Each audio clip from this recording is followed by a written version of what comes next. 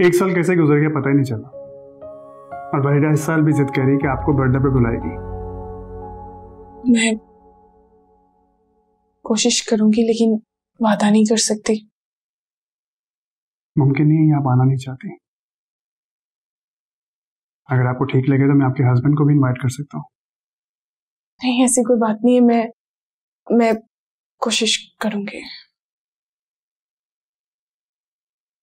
में आपकी तबीयत तो ठीक है? आए मैं आपको डॉक्टर पे ले जाता नहीं नहीं इसकी कोई ज़रूरत नहीं है मैं मैं ठीक हूँ। आई श्योर जी। प्लीज़ बी केयरफुल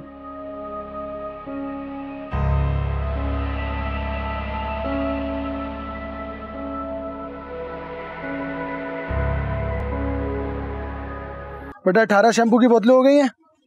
ठीक है? इसके साशे कितने आए पचास हो गए गिन लिए? ठीक है उसके बाद ये कस्टर्ड जो आया ये पचास डब्बे। पचास होंगे ना? छोड़े ही सारे काम। इधर आए। बात करनी है मुझे आपसे। बहुत ज़रूरी बात। ओ भाई इधर देख। जूस लेकर आओ ठंडा जूस लेकर आओ जल्दी जाओ।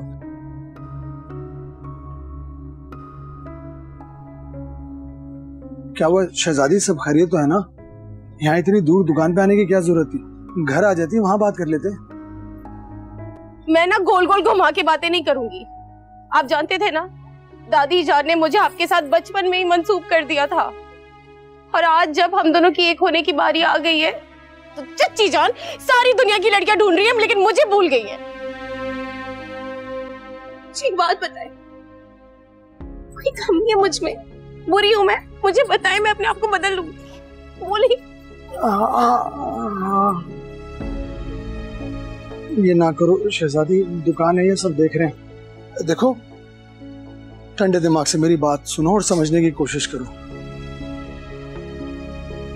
ये दुरुस्त है कि मैं औलाद के लिए दूसरी शादी करना चाहता हूँ। बिल्कुल ठीक बात है कोई शक नहीं इसमें। लेकिन लेकिन तबस्सुम नहीं मानेंगी। और बीवी की इजाज़त के बगैर दूसरा निकाह करना, शरीयत भी इस बात की इजाज़त नहीं देती।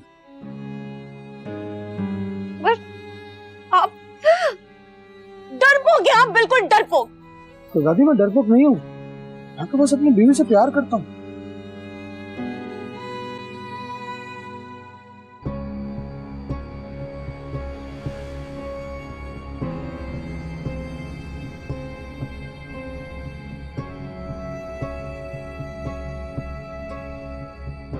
कहाँ जा रही हो?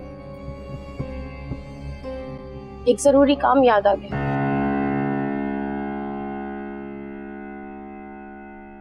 अरे, रुको तो सही। जूस जूस जूस तो